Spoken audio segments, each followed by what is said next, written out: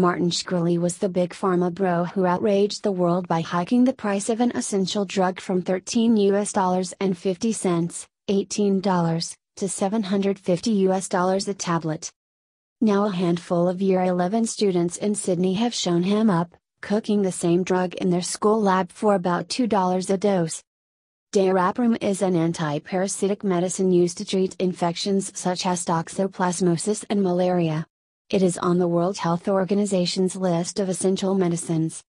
The drug is used to treat people with low immune systems, such as people living with HIV, chemotherapy patients, and pregnant women. In September last year, hedge fund manager Shkreli gained control of Turing Pharmaceuticals and attracted worldwide opprobrium by increasing the price of the drug more than 5,000%. He went on to spend 2 million US dollars on the only available copy of a Wu Tang Clan album. He was called a morally bankrupt sociopath, a scumbag, and everything that is wrong with capitalism. Hillary Clinton accused him of price gouging, and The Atlantic described him as the face of unapologetic profiteering from the suffering of humans.